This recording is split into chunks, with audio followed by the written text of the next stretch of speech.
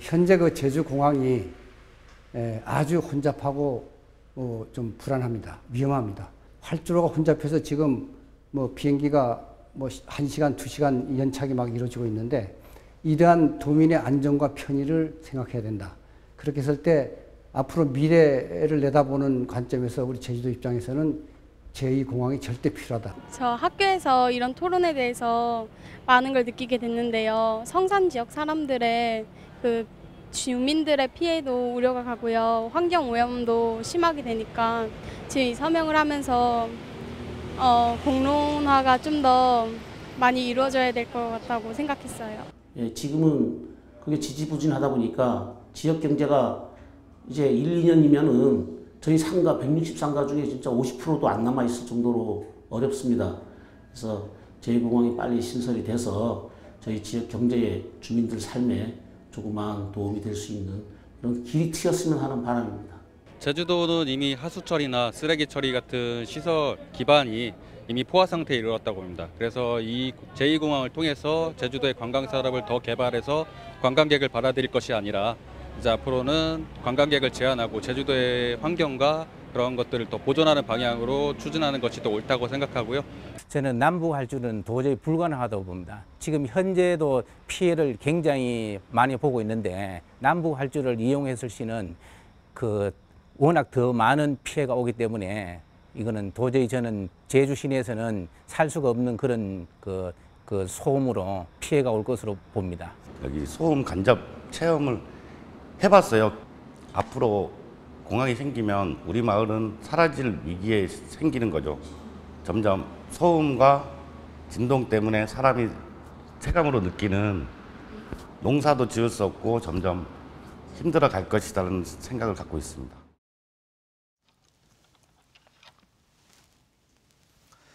여러분 안녕하십니까 한승훈입니다. 제주도가 주최하고 KBS가 주관하는 제2공항 TV 공개 토론회 지난주에 이어 2차 토론회를 준비했습니다. 지난주 제주 공항 인프라 확충의 대안은 무엇인가? 현 공항 활용이냐, 제2공항 건설이냐를 주제로 토론한 데 이어서 오늘은 제2공항 문제 어떻게 해결할 것인가를 주제로 이곳 KBS 홀에서 앞으로 80분간 생방송으로 토론을 해볼까 합니다. 오늘 토론에 많은 도민들의 관심이 있습니다. 어, 주제도 주제입니다만 오늘 토론자로 참석하신 분들 때문이 아닐까 싶은데요. 제주도정의 정책결정 최고 책임자인 원희룡 지사가 직접 나오셨습니다. 안녕하십니까? 네, 안녕하십니까? 네. 자, 오늘 토론을 통해서 어떤 결론이 나왔으면 좋겠습니까? 제주공항은 현재 혼잡한 포화 상태인데요. 미래의 제주 발전을 어, 끌고 갈 제주의 핵심 기반 시설입니다. 그래서 100년을 내다보고 우리 공항 어, 능력을 충분히 갖춰야 됩니다. 지금 현재 찬반 갈등이 있습니다만은 어, 끝까지 소통하고 우리 도민들의 여러 가지 뜻을 모아서 도민들의 의지로 우리 제주도의 미래를 열어가겠습니다. 네, 알겠습니다. 그럴 수 있도록 노력해 주시기 바라겠고요. 또 반대편에는 이 공항 반대 진영에서 이 대표 주자로 내세운 분입니다. 박찬식 비상도민회의 상황실장 나오셨습니다. 안녕하십니까? 예. 네. 어, 지난주에 이어서 오늘도 나오셨는데 오늘 토론을 통해서 어떤 결론이 나왔으면 좋겠습니까? 예, 그 제2공항 우리 도민들은 그 공항을 좀 더 편리하게 이용하기를 원해서 확충을 원했습니다. 아, 제2공항 정도의 공항이 필요한 거냐라는 의문들을 갖고 있고요. 또 그동안 많은 의혹과 의문들이 제기됐습니다. 그리고 그게 풀리지 않은 채 4년째 갈등이 계속되고 있습니다. 더 이상 이대로 갈 수는 없습니다. 하루속히 이 갈등이 매듭지어져야 되는데 어, 여론조사에서 나타나듯이 대다수 도민들은 어, 우리 도민들이 공론화를 통해서 도민들 스스로가 결정해야 된다고 하고 있습니다. 오늘 도지사님께서 거기에 대해서 확실한 답변을 해주시기를 기대하고 또 그런 마음으로 토론에 임하겠습니다. 네, 알겠습니다. 실장님도 역시 오늘 실질적인 대안이 나올 수 있도록 노력해 주시기 바라겠습니다. 예. 자, 토론 방식을 소개해 드리죠. 지난주 토론회를 보셨던 분이라면 쉽게 이해하실 수 있을 텐데요. 자유 토론 방식으로 진행을 합니다. 한 사람씩 정해진 시간을 순서대로 발언을 하는 게 아니라 어, 양측의 발언 총량을 맞춰가는 방식인데요. 출연자들 앞쪽에 지금 모니터 보이시죠? 네, 이 모니터는 여러분들이 발언을 하게 되면 시간이 올라가게 되고요. 발언을 끝내면 역시 시간도 멈추게 됩니다. 저는 가급적 토론에 개입하지 않고 양쪽 시간을 좀 최대한 비슷하게 맞추는 데 집중하도록 하겠습니다. 제주도정 최고 책임자와의 일대일 토론이니만큼 제주 사회의 갈등을 제주도민 스스로 해결하는 계기가 되기를 기대해 보겠습니다. 자, 오늘 토론은 두 가지 큰 주제로 진행을 할 예정입니다. 이 공항 의혹은 해소됐는지, 갈등 해법은 무엇인지 이 두 주제인데요. 첫 주제부터 시작해 보죠. 제이 공항 의혹의 쟁점은 세 가지로 압축할 수가 있을 것 같습니다. 첫째, 어느 규모까지 공항 인프라를 확충할 것인가? 둘째, 어, 기존 공항 확장 계획을 제대로 검토했는가? 셋째, 성산으로 결정한 입지 선정은 타당한가? 이 정도로 정리할 수 있을 것 같은데 아, 토론의 밀도를 높이기 위해서 좀 쪼개서 토론을 해보겠습니다. 첫 쟁점은 제주 이 항공 수요 예측에 대한 문제입니다. 무한정 공항 인프라를 늘릴 수는 없는 게 현실이다 보니까 어느 정도 수준을 목표로 인프라를 확충해야 하는지에 대한 질문인데요. 자, 그럼 누가 먼저 시작해 주시겠습니까? 제가 먼저 시작할까요? 네, 먼저 예, 예. 시장님 먼저 해주십시오. 사실 여기 의혹에 여기 들어가 있긴 하지만 이 문제는 의혹은 아닙니다. 아, 왜냐하면 예를 들어 공항 수요를 인위적으로 부풀렸다든가 의도적으로 부풀렸다면 그게 의혹이지만 그렇게 보지는 않고요. 다만 이제 그 당시가 공항 수요가 폭발적으로 늘어나다 보, 늘어나던 시기다 보니까 장기적으로도 굉장히 많이 늘어날 거다. 그래서 대략 4,500만을 넘어설 거다. 이렇게 예상을 하고 4,500만 이상을 수용할 수 있는 대안만을 검토를 한 거죠. 네. 그런데 그 이후에 에, 실제로 이제 그 예비 타당성이라든가 기본 계획을 거치면서 현재는 대략 한 4천만 정도로 이제 조정이 돼 있는 상태입니다. 한 10% 정도 줄어 있는 상태인데요. 4천만이면 관광객으로 한 2천만 정도 됩니다. 물론 거기에 이제 공항 이용객 중에는 도민 이용객도 있지만 또 배로 들어오는 관광객도 있기 때문에 대략 이제 관광객 한 2천만 정도 되는데 아, 물론 이제 2천만도 너무 많은 거 아니냐. 사실 1,500만 시대가 열리면서 여러 가지 뭐 우리가 익히 얘기하듯이 쓰레기 문제, 하수도 문제, 교통 문제, 그 다음에 이제 어, 여러 가지 땅값 폭등 문제, 뭐 범죄 문제 등등을 겪으면서 야, 이 정도에서는 좀 조절돼야 되는 거 아니냐 이런 생각도 있습니다.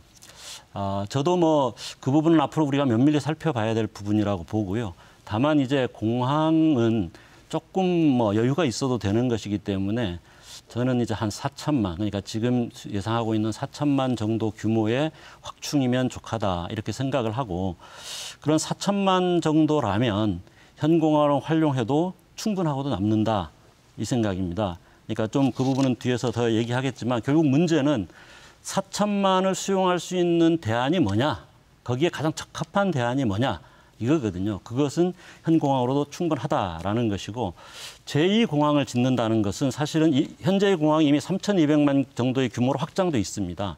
제2공항은 그보다도 규- 부지가 더 큽니다. 그래서 실제로 합치면 6천만 정도 이상을 수용할 수 있는 공항 규모가 되는 겁니다. 그는 김병종 교수도 용역 책임자도 저하고 얘기하면서 인정을 했거든요. 과연 어 그냥 놔두면 이 땅이 얼마나 앞으로 100년 후에 가치가 올라갈지도 모르는데 그런 땅을 뒤집어 콘크리트로 엎고 거기 살던 농민들을 쫓아내고 환경을 파괴하면서 굳이 이 정도 규모의 공항을 확충할 필요가 있느냐 네. 이게 쟁점이라고 할 수 있겠죠. 실장 이거에 대한 반론 한번 들어보겠습니다. 지사님 말씀해 주십시오. 그 현 공항을 더 이용하면 어, 충분하지 않느냐라고 했는데요. 그 전제가 현재의 제주공항 자체가 아주 비정상입니다. 우선 표도 못 구하고요. 위험합니다. 작년에는 충돌 사고까지 날 뻔했습니다. 단 한 번이라도 항공사고가 나면 안 되고요. 그리고 항공 수요 지금 4천, 4,500만 하시는데 저희는 뭐 무제한 들어오는 것을 저희들이 바라지도 않고 그래서도 안 된다고 생각합니다. 저희가 그것은 우리 제주도의 수용 능력을 봐서 관리를 해야 되는데 다른 나라의 경우를 보면요. 하와이 같은 경우는 공항 이용객이 2,100만 명인데 활주로를 4개를 쓰고 있습니다. 시드니 공항은 2,600만 명인데 활주로 3개고요. 그래도 지금 제2공항을 지금 본격적으로 논의에 들어가고 있습니다. 추세가 뭐냐면 안 그래도 혼잡하고 위험한 공항을 더 비행기 이착륙을 집어넣어서 굳이 가겠다. 이런 게 아니라 특히 관광지의 공항들 또 미래의 항공 수요를 대비하면서 오히려 이착륙 횟수를 줄이는 쪽으로 선진국들도 가고 있다. 그래서 우리 공항은 이미 포화가 돼 있기 때문에 미리 앞으로의 100년을 내다보고 여유 있게 안전하게 그리고 쾌적하게 해야 된다고 생각합니다. 왜냐하면 제주에 있어서의 항공은 이거는 호화로운 여행이 아니라 제주도민들의 뭐 업무를 위해서 병원 가기 위해서 학교 가기 위해서 또 출장을 위해서 대중교통 아니겠습니까? 그리고 지금 항공 수요가 들쑥날쑥하는 걸 말씀하셨는데 원래 국토부의 항공 수요 예측이라면 2025년까지 2,500만 명으로 끝났어야 됩니다. 이게 2015년에 이미 포화가 돼서 지금 공항 확충이 필요하다는 걸 국토부가 마지못해 인정하고 지금 제2공항까지 온 거거든요. 그래서 국가가 원래 이 포화를 인정하기 인색했던 것을 어쩔 수 없이 인정해서 간 이거에 대해서 우리 제주도민들이 100년을 내다보고 이 기회를 저희들이 잘 활용해야 된다고 봅니다. 예, 공항이 지금 포화라고 하셨는데, 그러니까 아, 지금 사실은 몇 년 전 얘기를 하고 계신 겁니다.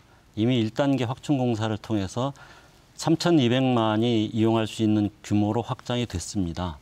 그리고 어, 지금 왜 그러면 표 구하기가 어렵냐? 지금 현재 제주공항은 활주로 용량으로 보면 시간당 40회를 운항할 수 있습니다. 근데 그 왜 안 되느냐? 관제 때문에 안 되는 거거든요. 관제 용량이 여전히 35회로 제한돼 있습니다. 사실 아까 그 세계적인 추세를 얘기하셨는데 정반대로 말씀하신 겁니다. 지금 세계적인 추세가 어떠냐? 지난 한 20, 20년 동안 항공 수요가 폭발적으로 늘어. 그건 전 세계가 다 그렇습니다. 그런데 공항을 지을 수가 없습니다. 특히나 유럽 같은 데서는요. 공항 지을 계획을 수없이 세웠다가 30년 전에 세운 것도 아직 못하고 있어요. 심지어 활주로 하나 더 넣는 것조차도 안 됩니다. 낭뜨공항은 10년째 싸우다 결국 그 아예 취소해 버렸고요. 프랑스 정부가. 그다음에 오스트리아 빈 공항도 활주로 하나 더 넣으려다가 결국은 포기했습니다. 그러면서 이 늘어나는 항공 수요를 어떻게 감당할 거냐 이 문제 가지고 지금 그 국제민항기구나 이런 데서 이제 대책을 세웠죠. 중장기 전환 계획이라고 해서 2013년부터 계획을 세웠습니다. 그게 뭐 제가 여기 이제 그, 그 표지입니다. 이게 2013년부터 한 이 이 계획을 한국에 각국에도 적용해라 이렇게 해가지고 지금 진행하고 있거든요.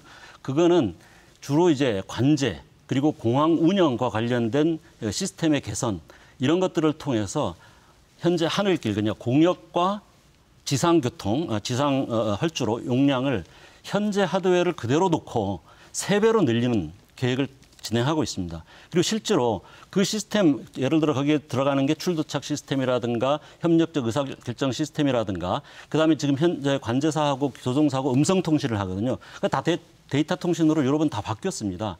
그렇게 해서 예를 들어 어, 영국의 게딕 공항 같은 경우는 2012년인가 그 시스템을 도입한 이후에 현재 활주로 하나만 가지고도 시간당 55회 4,800만을 운항하고 있습니다. 사실 쾌적 문제나 예, 안전 문제는 전혀 그래서 문제가 되지 않습니다. 그래 오히려 문제가 되는 것은 뭐 쾌적 이- 이런 걸 따지시는데 쾌적은 주로 터미널 문제입니다. 터미널은 얼마든지 늘릴 수 있어요. 지금도 사실은 제주공항에 국제선을 국제선 터미널을 따로 만들려는 계획이 이미 있었는데 국토부가 유보시켜 놓고 있을 뿐이죠. 터미널의 복잡한 걸 가지고 얘기하시는 거는 공항 용량하고는 아무 상관이 없는 얘기입니다. 네, 시장님 그럼 말씀 중에 죄송한데 이 부분까지 듣고 어, 예, 기사님의 예, 예. 반론을 한번 들어보겠습니다. 어떤 의견 주시겠습니까? 이 여기에 대해서. 그 지금 공항을 수용 능력을 늘릴 수 있는 부분에 대해서는 국토부가 이미 파리 항공 용역단이라든지 이렇게 해서 다 검토를 했습니다. 거기에는 지금 우리 박찬식 위원장님께서 말씀하시는 것처럼 관제 능력을 늘려라. 조종사들 훈련을 더잘 시켜라. 공군은 딴 비행기로 딴 하늘길로 다녀라. 19개의 조건. 그리고 현재의 제주공항의 화물 터미널 뜯어라 해가지고 19개의 조건을 다 갖추면 용량을 올릴 수 있을 거다라고 했는데 이에 대한 검토 결과 이건 실현 불가능하다.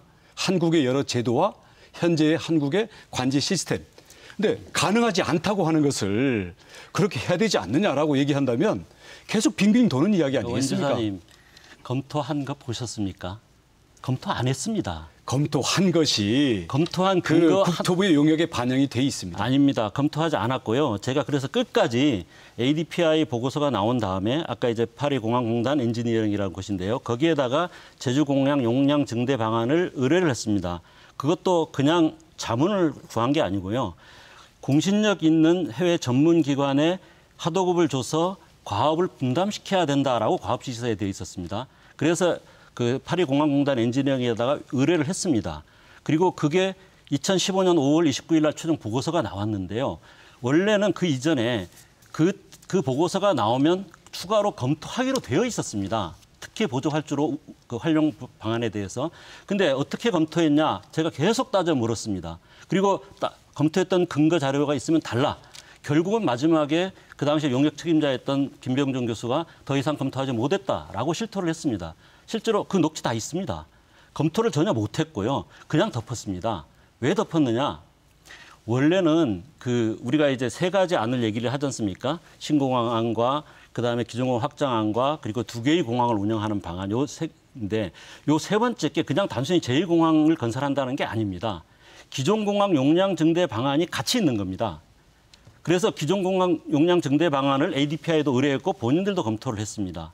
그런데 거기에서 ADPI가 그, 그 기존 공항 용량이 어느 정도 되느냐에 따라서 제2공항이 규모를 결정하게 돼 있었습니다.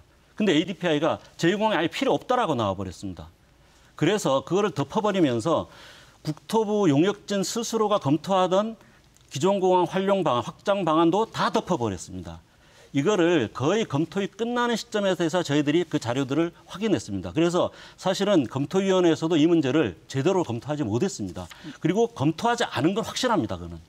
네, 알겠습니다. 지금 잠시만 기다려주시면 예. 지금 자연스럽게 두 번째 소 주제로 넘어간 것 같습니다. 이 공항 이제 추가 건설 없이도 기존 공항 확충으로 문제를 해결할 수 있지 않느냐는 문제 제기인데 어, 2015년 사전 타당성 용역 결과를 보면은 330쪽이 넘는 보고서에서 기존 공항 활용안이 이두 쪽이 불가를 불가했거든요. 특히 기존 말씀하셨지만 제주공항 확충을 그 유력한 대안으로 제시한 프랑스 ADPI 보고서가 뒤늦게 드러나면서 이제 논쟁이 더 뜨거워졌는데 이 주제를 갖고 어, 계속 이, 그 토론을 예, 이어가 보겠습니다. 이 얘기에 대한 답변을 예, 해주십시오. 예. 안 그래도 이제 거기에 대해서 말씀을 드리려고 했는데 그 파리 공항 용역단에다가는 현 공항을 최대한 활용할 수 있는 방안에 대해서 제시를 해달라. 네. 그래서 아까 여러 가지 그러니까 당장 지금 활주로의 옆에 시설들을 늘리는 것부터 시작해가지고 아예 이거를 지금보다 한 두 배 용량을 늘리는 것까지 쭉 이론적으로 제시를 했습니다. 그래서 국토부와 영역단에서 검토한 결과 당장 제2공항을 지으려고 해도 시간이 한 10년 가까이 걸리니까 당장 제2공항 아니 현재 공항을 활용할 수 있는 방안을 수용할 수 있는 것까지 다 수용을 했습니다. 그래서 수용한 결과가 뭐냐면 시간당 34회가 최대 한계인데 35회로 늘리도록 해서 현재 유도로 탈출로 뭐 관제탑에서 공사들을 다 했어요. 근데 현재 이걸 가지고 2년 동안 운행해 보니까 시간당 35회로 한 회 증대시키는 것도 현재까지 실패했습니다. 이론상으로 자 이런 이런 이런 조건들 가지고 조종사 관제사 능력 늘리고 훈련하고 이렇게 해서 이론상으로 제시하는 것과 현실에서 실행되고 검증된 결과로 나온 것은 차이가 컸다라는 것이죠. 그렇기 때문에 그 파리 그 공항 용역단에서는 이론적이고 기술적인 걸 제시를 하고 우리 그 용역단과 국토부에서 수용할 수 있는 것은 수용을 했는데 지금 그것을 넘어선 부분에 대해서도 왜 수용을 안 했냐 안 했냐라고 말씀하시는 건데 그것은 이미 이 그 파리 공항 그 용역단의 연구는 사전 타당성 용역에 어떻게 보면 그 하부 용역이었거든요. 그리고 이것을 검토한 결과를 가지고 이 내용은 나중에 결론이 나오면 다 폐기하도록 원래 국토부의 작업 규정이 다돼 있었던 거기 때문에 그런 거지 지금 말씀하시는 것처럼 이게 뭐 대단한 의혹이 있는 것처럼 얘기하는 것은 저는 문제 제기를 위한 문제 제기다라는 입장이죠. 결론적으로 뭐냐면 이론적으로 제시하는 거하고 실제로 이착륙 횟수를 늘리는 거는 너무나 이 제주공항 한국의 실정에서 차이가 컸고 이런 것들을 가지고 이론적인 제시 열아홉 개의 조건이 다 해결되면 할 수 있다고 한 그걸 가지고 우리가 안전과 제주의 미래를 건 도박을 할 수는 없다고 생각을 합니다. 너무 잘못 알고 있어서 지금 제가 어떻게 얘기를 해야 될지 모르겠는데요. 일단 ADPI는 그런 얘기가 나올까 봐 거기에서 이게 가장 현실적이고 실용적인 방안이다라고까지 명시를 했습니다. 근데 그 문제를 떠나서 앞에요. 지금 그 활주로 하나 가지고 확장하는 거 34회에서 35회로 늘리는 게 아니고요. 34회에서 40회로 늘리는 겁니다. ADPI는 하나의 활주로만 가지고도 44회까지 늘릴 수 있다. 라고 얘기를 했고 장기적으로는 50회까지도 늘릴 수 있다. 라고 얘기를 했습니다. 근데 우리나라 용역진에서 40회까지만 받아들였습니다. 그래서 지금 35회로 늘리는 게 아니고 40회로 늘리는 건데 지금 현재 35회입니다. 근데 36회로 올리려고 하다가 이번에 이제 활주로 위원회에서 부결됐습니다. 그 왜 부결됐느냐? 활주로 용량은 40이라고 되어 있습니다. 이 자료에 그냥 나와 있어요.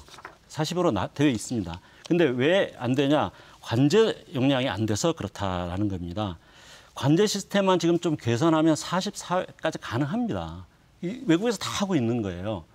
그걸 왜 제주도만 못, 못 하겠습니까? 그러니까 현재 안 되고 있는 이유가 첫째도 관제, 둘째도 관제입니다. 실제로 그, 그 아까 19가지 얘기를 하셨는데 19가지 보셨는가 모르겠어요. 19가지 중에 단 하나라도 전문가들한테 물어보고 단 하나라도 이거는 현, 우리나라 현실에 맞지 않다라는 걸 가져오시면 제가 인정하겠습니다. 그런 거 하나도 없습니다. 실제로 그 19가지 중에 한 4가지, 5가지 정도는 주로 하늘길에 관련된 문제입니다. 서울과 제주로 오가는 하늘길이 너무 복잡하니까 지금 2차선 도로를 4차선으로 확장하자. 그러려면 군공역을 조정하거나 탄력적으로 이용해야 된다. 이런 거에 관련된 게 네 가지입니다. 그거는 제, 제주공항을 확장하든 제2공항을 쓰든 그 똑같습니다. 공항이 횟수가 운항 횟수가 늘어나면 언, 언제나 걸리는 문제입니다. 그리고 나머지는 교육 훈련 뭐 이런 거 한 두 가지 있고 나머지 대부분은 관제에 관련됩니다. 관제와 그 공항 운영 시스템 아까 제가 얘기했던 출도착 그 관리 시스템이라든가 협력적 의사 어, 결정 시스템이라든가 이런 걸 도입하면 10% 그러니까 지금 현재 44회는 그 얼마든지 가능하다는 거예요. 하나만 가지고도. 그리고 보조 활주로를 조금만 이용하면 60회까지 가능하다. 이상 가능하다. 이겁니다. 여기에 대해서 국내 전문가 검토한 결과 하나도 없습니다. 네, 그럼 실장님 여기에 대한 네. 한번 답변 들어보겠습니다. 네. 그러니까 지금 관제 능력과 시스템을 개선하면 가능하다. 지금 한마디로 넘어가셨는데요. 그 이론상으로는 그게 쉬울지 모르지만 이론이 아닙니다. 아니, 그 우리 작년에 벌써 현재 34회 띄우는 이 이착륙 횟수를 갖고도 저 항공기 충돌 사고 일어날 뻔했지 않습니까? 그리고 그, 그 충돌 사고 일어날 목표가 뭔지 아십니까? 아니 40회로 돼 있다라는 걸 제가 그 부정하는 게 아니라 지금 현재 34회에서 35회로 늘리는 것도 현재 실제로 이걸 작동을 해보니까 가능하지가 않아서 지금 안전을 책임지고 또 이 관제에 대해서 국토부가 책임을 지고 있지 않습니까? 예. 국토부에서 이것은 실현 가능하지 않다. 이것은 이론적인 얘기이지 이론상으로야 무슨 얘기를 못하느냐라고 해서 이게 채택이 안 된 건데 야, 이론상으로 60회까지 가능하다, 50회까지 가능하다 이렇게 하면 이거는 그야말로 이론적인 얘기라는 거죠. 저희는 음. 실제로 모든 요인들이 종합돼서 운영되는 결과와 그 결과로 인한 안전에 대해서 저희는 조그마한 위험도 저희들은 어, 피해가야 된다고 생각을 합니다. 이론적인 검토를 부탁했던 게 전혀 아닙니다. 실제로 쓸 수 있는 걸 부탁을 했고요. 그 다음에 왜 안 되느냐? 여기 제주공항 그 안전도 및 효율적 향상 보고라, 보고서가 있습니다. 이 보고서에서 지금 뭐라고 얘기하고 있는지 아십니까? 공항 수용 능력 개선을 해야 되는데 그동안 관제 방, 방식 개선이나 장비 도입에 대해서는 연구 투자가 진행된 바 없음. 증가하는 교통량의 처리를 위해서 관제사의 기량에 의존하는 현재의 방식으로는 공항 수용 능력 개선에 한계가 있다. 그래서 딱 ADP가 얘기한 겁니다. 협력적 의사결정 시스템, 출도착 관리 시스템, 레이더 기능 개선, 모의 관제 훈련 장치 이게 다 ADP가 얘기한 것들이거든요. 그거를 하루 속히 해야 된다. 이게 몇 년도에 나온 거냐면 2018년에 나온 겁니다. 벌써 2015년부터 했어야 될 일입니다. 근데 왜 못했, 못했느냐? 현재 제주공항 관제탑이 아까 이제 사고가 날 뻔했다라고 했는데 바로 그 사각지대가 있기 때문입니다. 기둥에 가려서 교차 지점이 안 보여서 그런 겁니다. 그 다음에 현재 관제탑이 공간이 좁아서 첨단 관제 장비를 들여놓을 공간이 없어요. 그래서 그걸 빨리 이전했어야 되는데 아직까지 안 해가지고 이제야 겨우 설계 단계에 들어가 있습니다. 그, 래서 2022년까지 이제 설계를 하고 나서 이런 시스템들을 도입하고 하겠다고 하고 있는 거예요. 그걸 안 했기 때문에 지금 용량이 안 되고 있는 겁니다. ADPR을 굉장히 우습게 하시는데 그러니까 전 이게 전 세계 3대 그 공항 설계 업체 중에 하나고 지난 10년 동안 500개 이상의 공항 프로젝트를 진행했고요. 우리나라 인천공항에도 관여했고 영남권 신공항 사전 타당성 용역을 했습니다. 그 어려운 문제를 해결하기 위해서. 그리고 89년, 90년에 제주 신공항을 위한 조사를 제주에서 시- 또 수행을 했던 업체입니다. 우리나라 실정이나 제주도 실정을 모르는 게 아니고 전혀 이론적인 게 아니고 실제 실용 가능한 그래서 이론적으로는 오히려 보조 활주로를 활용하면 70회까지도 가능하다라고 했어요. 근데 현실적으로는 실용적으로는 60회 정도까지만 가능하다. 이렇게 얘기를 한 겁니다.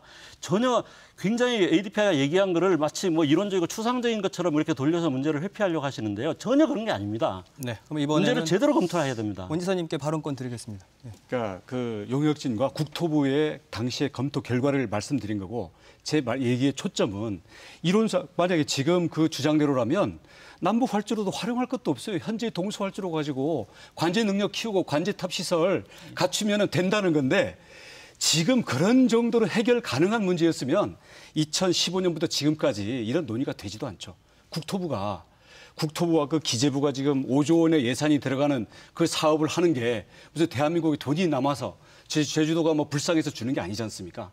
그래서 이런 점들에 대해서는 현재 국토부도 이 공항에 대한 건설뿐만 아니라 현재 관제국 그리고 이 항공 운영에 대한 모든 부서들이 있기 때문에 이런 부분에 대한 그동안의 경험 그리고 항공은 정말 안전 철저히 철저히 안전 위주로 가야 되기 때문에 이런 점에서 현실성 있는 판단을 했다.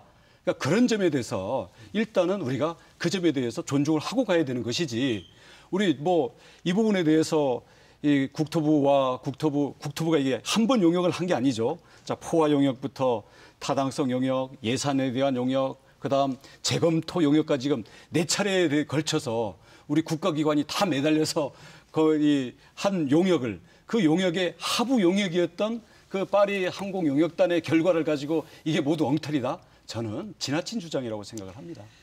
그러니까 용역 과정에서 그게 검토가 됐다면 저도 그 얘기 인정하겠어요. 근데 전혀 검토가 되지 않았습니다. 그래서 그걸 덮어놨다가 이번에 문제가 되니까 마치 검토한 것처럼 얘기하고 있는 거예요. 검토위원회에서 다 따져봤습니다.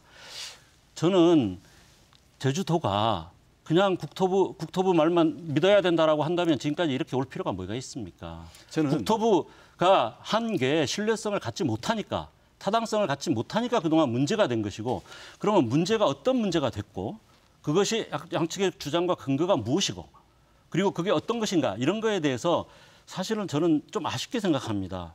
왜냐하면 도도 정말 그걸 제대로 알아봤어야 되거든요.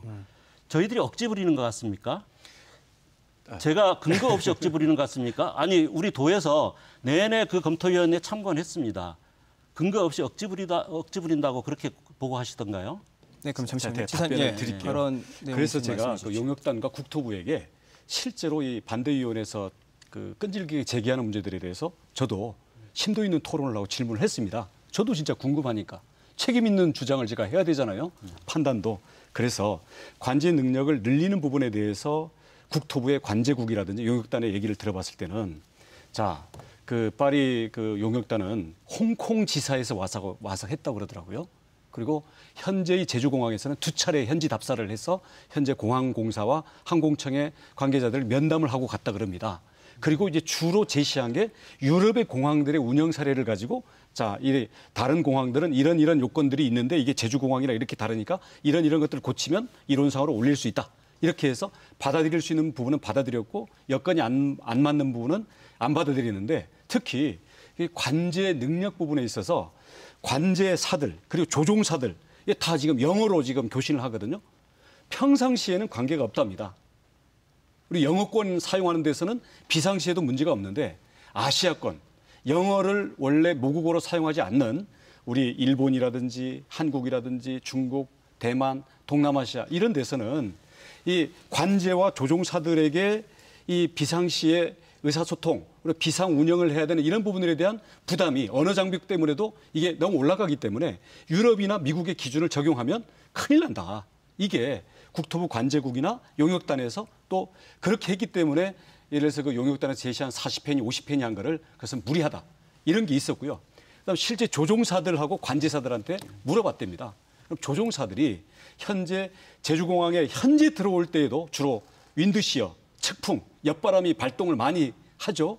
그리고 관제 지금도 지금 포화 상태이기 때문에 관제국의 현재 관제탑에서부터 공중에 20분 기다려라, 30분 기다려라, 한, 번- 한 바퀴 돌고 와라. 그래서 공중에 지금 줄줄이 지금 서 있지 않습니까?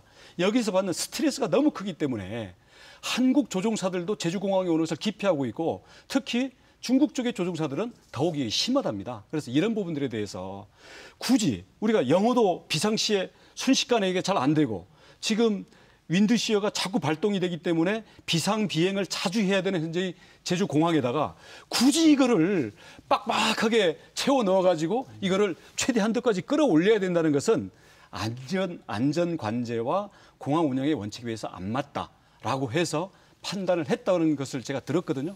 그래서 만약에 이게 확인하고 싶으시면 다시 국토부에다 질문을 하든지 아, 정 우리가 공신력 있는 답변을 들으려면 아, 국회에서 불러서라도 저는 국토부나 용역단의 책임 있는 답변을 들을 수 있다고 생각을 합니다. 예, 그런 말씀을 하시는 분이나 그 용역진을 불러서 도에서 불러서 저희들하고 같이 토론을 시켜줬으면 좋겠어요. 진짜 아니, 그게 아니라 반대위원회에서 어. 지금 몇 차례입니까? 지금 벌써 아, 어, 아홉 차례, 다섯 차례 그 국토부랑 용역진들이랑 이야기도 했고 했지 않습니까? 제주도도 빠진 상태에서. 그러니까요. 그렇게 많이 한 것 같죠. 많이 한 게 아닙니다. 실제로는 서너 번은 다 이제 그 절차 문제였고 그건 뭐 중요한 건 아닌데요.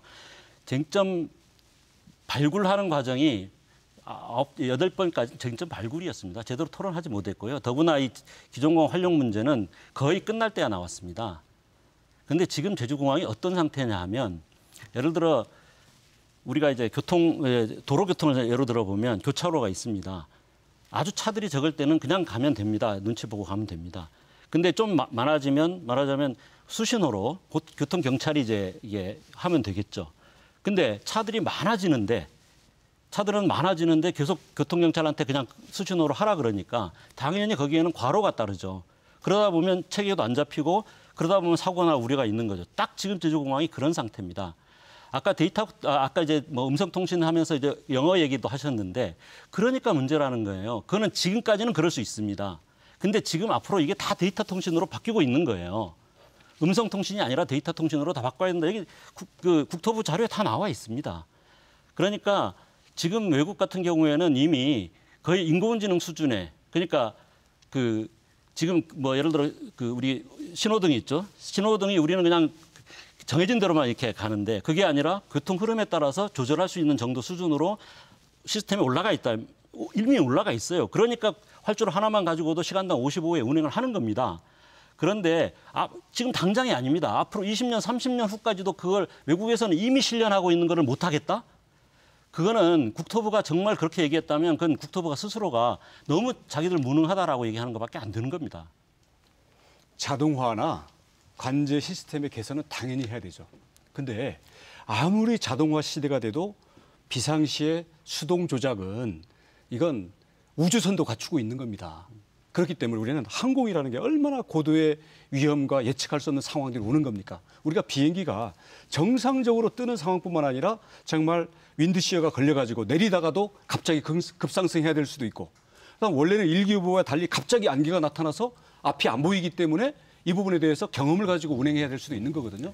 여기는 그러니까 0.0001%의 가능성이 있다 하더라도 이 부분에 대해서 대비가 돼 있어야 되는 게 항공 시스템의 기본이거든요. 그래서 관제 능력을 뭐 개선하지 않겠다, 자동 항법을 도입하지 않겠다라는 것이 아니라 이 밑바탕에 그런 이 그 기반이 되어 있어야 된다라는 것에 대한 검토의 결과라는 거죠. 그러니까 그런 거를 다 고려해서 지금 외국에서 하고 있는 겁니다. 그래서 지금 이 그 차세대 전환 시스템, 항공 시스템에서 얘기하고 있는 게 뭐냐면 공항 용량을 세 배로 늘리, 그러니까 운행 용량을 세 배로 늘리면서도 안전도를 다섯 배로 증가시킨다고 지금 하고 있, 있습니다. 그러니까 우리나라는 공항 많이 지어서 그 문제를 해결하려고 하는데 그렇게 해결할 수가 없어요. 그러니까 충분히 그 안전 다른 나라는 그럼 그 안전을 고려하지 않고 그렇게 늘리는 거라고 생각하십니까? 안전에 안전 다 고려하고요. 우리나라보다 더 철저히 따집니다. 안전사고도 우리나라 낮은 편이 아니에요, 지금. 그러니까 그거는 그만큼 시스템이 안 갖춰져 있는데 관제사들한테만 책임을 묻는 구조로 돼 있다 보니까 아까 관제국 얘기했지만 관- 저도 관제사들 많이 만나봤고요. 한국 그 뭐야 조종사들도 많이 만나봤습니다. 그거를 제대로 시스템을 안 갖춰놓고 관제사들한테 책임을 물으니까 관제사들은 자꾸 안 된다. 그렇게 늘리지 못한다. 계속 이렇게 얘기하는 거예요. 그리고 그걸 구실로 해서 국토부는 공항을 더 지어야 된다. 이렇게 얘기하고 있는 겁니다. 그거 무슨 안전을 무슨 타협해가지고 안전 아, 그 그러니까 위험이 반대하는 거는 확인은 하셨네요. 아닙니다. 제가 여기 제주도 출신 조종사도 몇번 받고 이제 지금 그 대한항공 조종사 노조 쪽의 사람들도 다 만나봤어요. 현재 보조 활주로 이용하는 거 아무 문제 없다라고 그래요. 알겠습니다. 그럼 여기에 대한 답변까지 듣고 다음 주제로 넘어가겠습니다. 혹시 지금 하신 말씀 있으십니까? 그러니까 이론상 현재의 관제 능력이나 관제 시설들을 키워야 된다라는 거 당연히 지금도 하- 투자하고 있습니다. 근데 그건 돼봐야 되는 거지. 그게 된다라는 전제하에 현재에다가 이착륙 횟수를 지금 두 배 가까이 늘리겠다? 저는 그것은 저희 행정 당국이나 미래의 백년 대계를 내다봤을 때 제주도를 생각해서는 책임 있는 결정이 그렇게 되어서는 안 된다고 생각합니다. 네. 잠시만 주십시오. 이 다음 소주제로 넘어가야 될 것 같습니다. 시간 관계상 그렇고요. 어, 다음 그 소주제가 뭐냐면 제2공항 후보지가 왜 성산인가 이 아니, 지금 문제입니다. 저 남북 활주로 얘기가 예, 조금 더 예. 돼야 될 것 같습니다. 아 그러신가요? 그러면 네. 은 혹시 하시죠. 뭐. 네, 그러면 제가 우리 그 도민들 중에는 야 현 공항 특히 남북 활주로까지 활용하면 그 할 수 있으면 음. 답답한 대로 좀 쓰면 되지 왜그 어 그 땅 내놓게 하고 또 새로운 데 가느냐 이렇게 생각하시는 분들이 있습니다. 당연히 현공항 확충에 대해서는 국토부에서도 최우선적으로 검토를 했던 겁니다. 근데 지금 남북 활주로를 어, 활용, 활용하는 게 불가능하다. 특히 남북 활주로를 활용해서 현재의 제주공항의 수용 능력을 두 배로 늘리는 것은 가능하지 않다. 제가 핵심적인 이유만 말씀드리겠습니다. 우선 비행기는 맞바람을 안고 뜨고 내립니다. 그러면 현재는 저 한림 쪽에서 오든지 함덕 해수욕장에서부터 서서히 고도를 낮추면서 동서 활주로로 들어오지 않습니까? 그러면 함덕 쪽에서 오실 때 유심히 보시면 아시겠지만 비행기 바퀴가 활주로에 닿고 한참 가서 거의 속도가 줄어든 상태에서 남북 활주로를 만납니다. 거의 십자가처럼 중간에서 만난다는 거죠. 이것은 미국이나 유럽에 있어서의 교차형 활주로는 거의 끝에서 만나게 돼 있는 이거랑 다릅니다. 그래서 현재 두 개의 활주로를 동시에 띄운다라는 것은 활주로가 교차하는 그 이 운영상에서도 불가능하고 바람 방향 때문에도 불가능합니다. 왜냐하면 현재도 윈드시어 때문에 뻔히 그 하늘이 맑은데도 비행기가 뜨고 내리지 못하는 이유가 옆바람 때문입니다. 그러면 자 동서 활주로든 남북 활주로든 이게 옆바람을 맞게 됐을 때는 못 뜬다는 얘기인데 그래서 그런 점에 대한 제주의 바람이 많은 이런 특성 이것 때문에 현재 동서 남북 활주로를 동시에 써서 두 배로 간다는 게 불가능하고요. 그 다음 더 중요한 문제는 2005년도에 남북 활주로를 바다 쪽에 이륙 용어로만 쓰고 한라산 쪽으로는 뜨고 내리지 않는다라는 전제하에 우리 제주 원도심 쪽에서는 고도가 어, 한 100, 한, 어, 어, 거의 한 100, 한 50m 정도. 그 다음 지금 연동 노영 쪽에는 그 고도를 두 배로 높여가지고 한 290m 정도로 고도가 올라가 있습니다.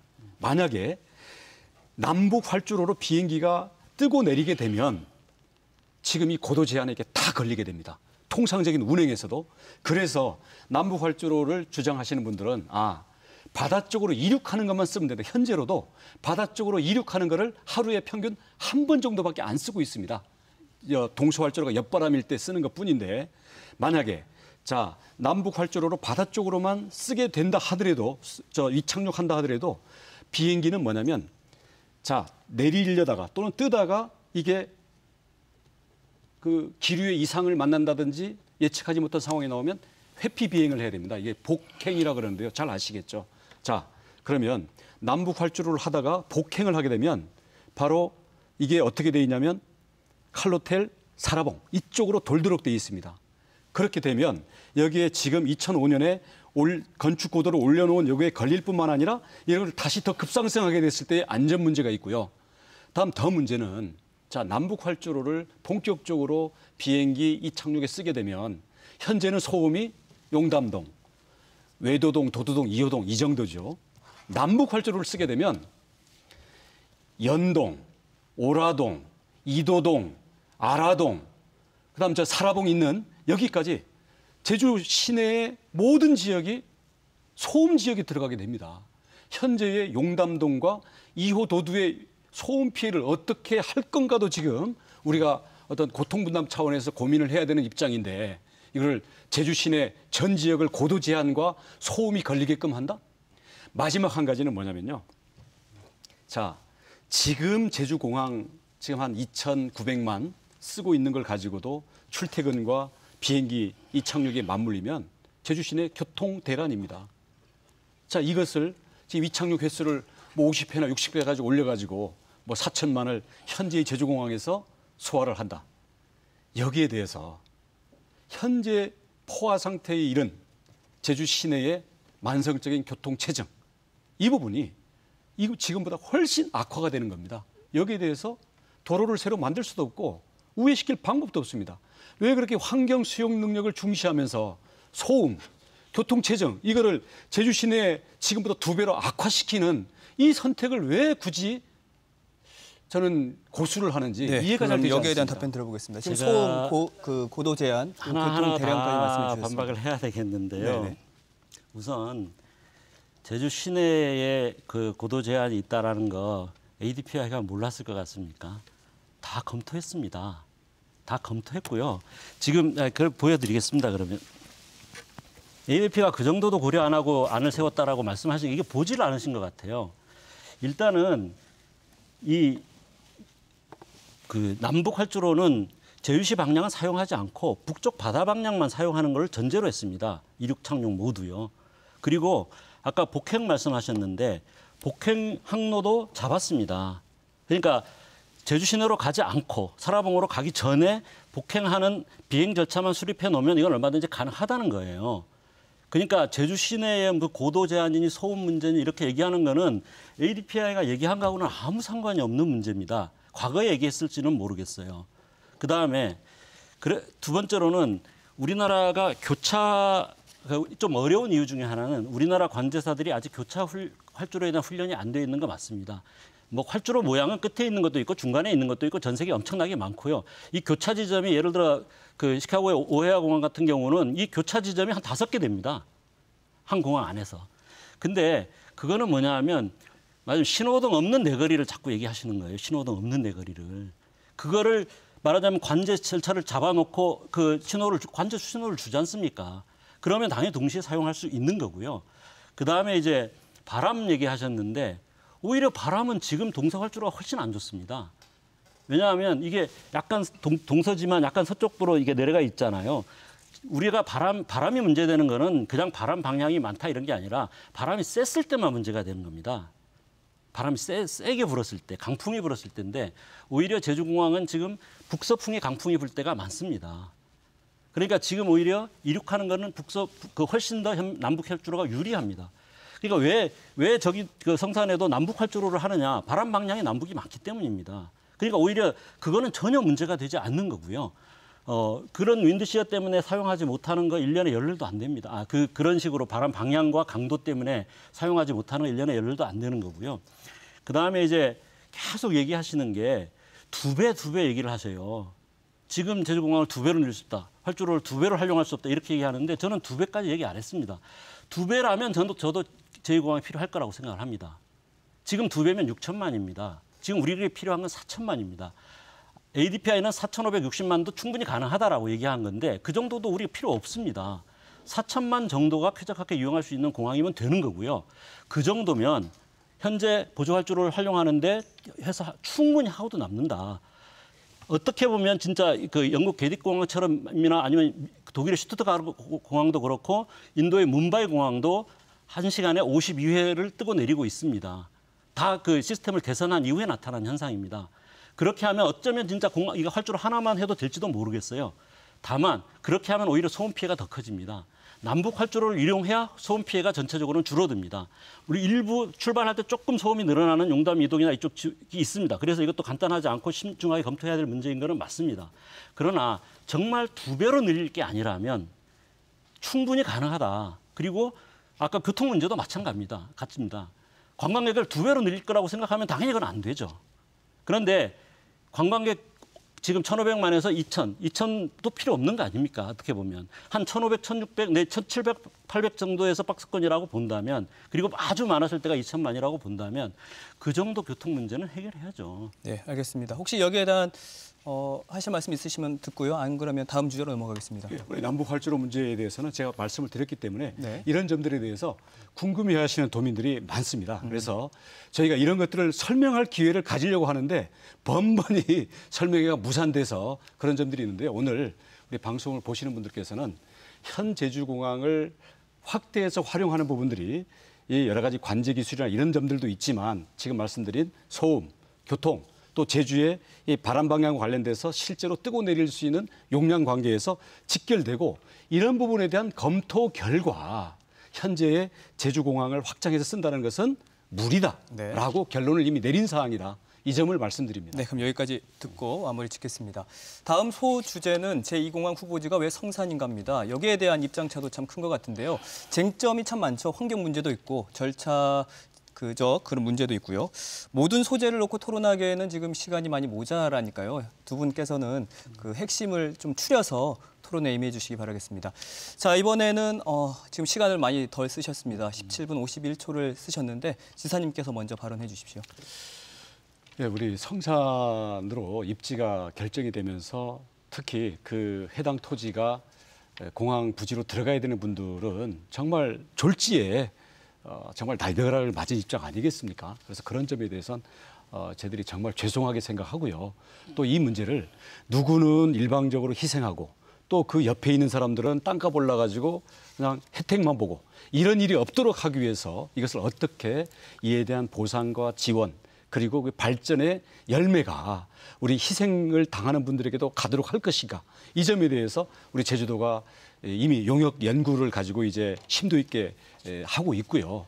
또 그게 경제적인 혜택이나 보상을 떠나 가지고 이미 있던 마을의 공동체가 아무래도 여러 가지 안 좋은 영향을 받게 되니까 이런 점들을 어떻게 고통을 함께 할 것인가 이 점에 대해서 저희들 앞으로 더 대책도 세우고 함께 노력을 하려고 합니다. 근데 성산으로 부지가 결정된 것 자체는 2014년, 15년 이렇게 오는 과정에서 한 30여 개 정도의 후보지를 놓고 1단계, 2단계, 3단계에서 여기가 최고 점수를 받았기 때문에 온 것이지 누가 중간에 개입해서 이걸 정치적으로 결정했다거나 이런 건 전혀 아니라는 것을 다시 말씀드리겠습니다. 네, 그럼 여기에 대한 답변해 주십시오. 예, 사실은 이게 워낙 쟁점이 많은 문제라 하나하나 그 어떤 끝을 보려면 사실은 뭐 하루 종일 해도 모자란 거고요. 어, 어, 다만 이제 사실 사람들이 그 이 문제를 얘기하는 이유는 그렇습니다. 적어도 뭐 설사 제2공항을 한다고 하더라도 그 지역에 사는 사람들, 그러니까 아까 공항에 수용당하든 아니면 소음 피해를 대대로 봐야 되는 분들이든 이런 분들이 수용할 수 있을 정도의 타당성이 있냐. 사실 타당해도 수용하기 어려운 게 사실입니다. 근데 그 정도의 타당성을 갖췄냐라는 문제인데 사람들이 전부 의아해했어요, 실제로.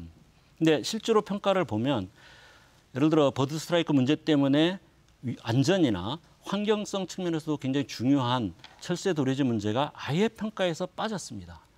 영남권에서는 그게 평가가 됐죠. 동굴조사 오래전 있었던 문헌조사라만 했고 원래 하기로 했던 정밀 지반 조사를 하지 않고 그걸 하기로 했던 예산도 반납해 버렸습니다. 기상평가 안개 일수하고 바람만 했는데 사실은 제주도는 요즘 그, 그 뭔가 폭설이나 이런 폭우 때문에 비행기가 제대로 운항되지 못하는 경우가 많습니다. 그런데 그런 부분이 평가가 안 됐습니다. 이상하게도 어쨌든 성산의 불리한 요소들이 왜 그렇게 됐는지는 모르겠지만 빠졌습니다. 거기에다가 군 공업이 중첩됐는데 난산하고 똑같이 중첩이 됐는데 난산은 감점을 하고 성산을 하지 않았습니다. 안개일수는 7년치 자료밖에 없는데 10년치 평균하면 10으로 나눠버려 가지고 17일을 12일로 만들어 버렸습니다. 저희들이 찾아내기 전까지 그냥 있었던 거죠. 그 다음에 반대도 있습니다. 지금 사실 네- 그 최종 후보지로 올라간 네 개 후보지 모두가 오름을 잘라야 되는 것이었습니다. 이 용역하시는 분들한테는 이 오름이라는 건 단순히 장애물, 이게 얼마나 양만 문제가 돼 장애물로만 평가가 됐지 환경적 가치는 전혀 평가되지 않았습니다. 근데 이상한 거는 신도 지역의 바다 쪽의 그 평야에 오름도 없고 마을도 없어 소음도 거- 전혀 어- 거의 없는 분명 히 그리고 2012년에 검토까지 했던 그런 후- 유력한 후보지가 있는데 아예 거기를 후보지로 선정을 하지 않았습니다. 그리고는 마을 있는 쪽에다가 후보지를 선정을 했어요.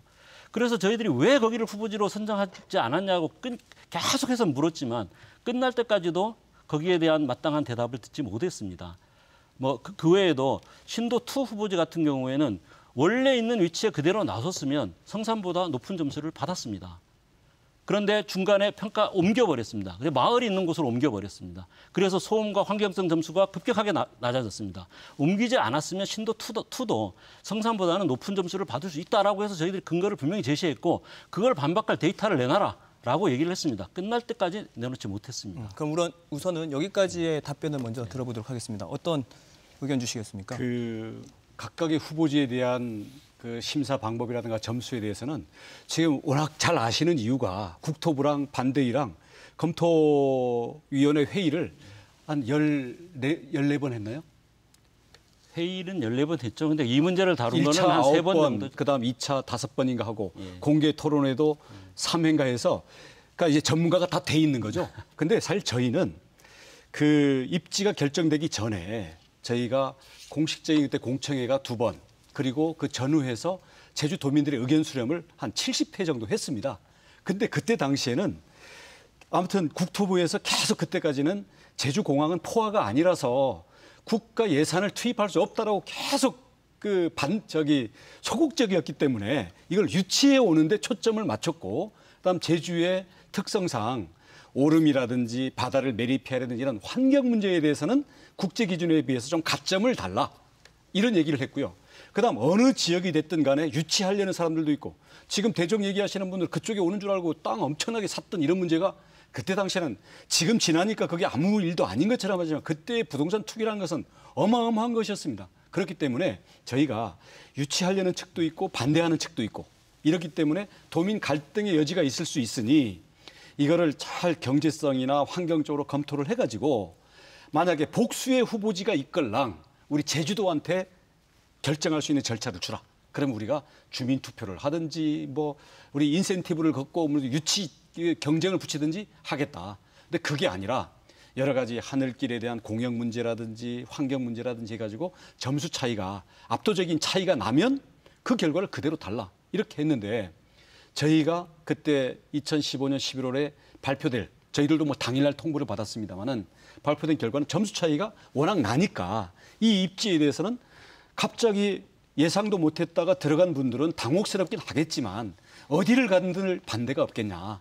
그리고 어디를 간들 그 공항 활주로를 만드는 것 자체가 제주에 숨골 없는 데가 어디 있으며 제주에 가서 어? 환경에 대해서 영향을 안 주는 데가 어디 있습니까? 그런 차원에서는 우리가 중대한 하자, 중대한 하자라는 것은 오름을 깎아야 된다든지 여기를 군사공항으로 쓴다든지 활주로 밑에 동굴이 있다든지 아니면 우리 제주도 사람은 다 하는데 거기에서는 기초적인 것을 뭐 모르고 있는 이런 결정적인 하자가 나오면 그때는 제주도부터 반대를 하겠지만 결정적인 하자가 없으면 이거는 큰 틀의 오차 범위에 있는 것으로 보고 또 국가가 결정을 한 거고 국책 사업으로 5조 원 넘게 예산이 들어가는 거기 때문에 제주도는 대승적인 차원에서 이 부분들 뜻을 모아보겠다 이렇게 해서 수용을 했던 거거든요.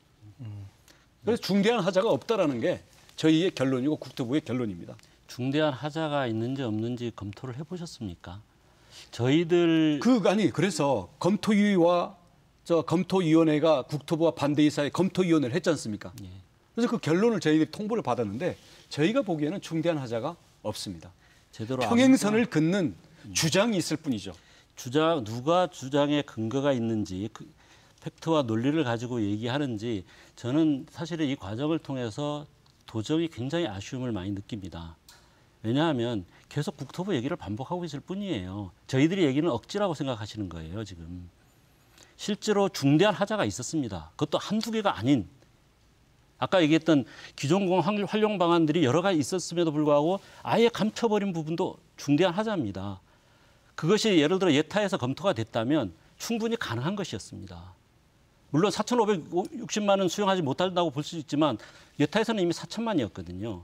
근데 그것도 중대한 문제입니다. 그걸 아예 과업을 분담한 겁니다. 아까 뭐 그냥 하도급 해가지고 그냥 뭐 참고만 하고 이- 이런 게 전혀 아닙니다. 실제로 거기에 뭐라고 돼 있냐면 공신력 있는 외국 전문 기관이 하도급 형태로 참여해서 과업을 분담 수행해야 된다 이렇게 얘기했습니다. 과업을 분담 수행한 연구 결과를 아예 보고서에 언급도 하지 않고 더구나 거기가 그런 과정에 참여했다는 사실조차도 다 은폐해 버렸습니다. 이게 중대한 하자 아닙니까?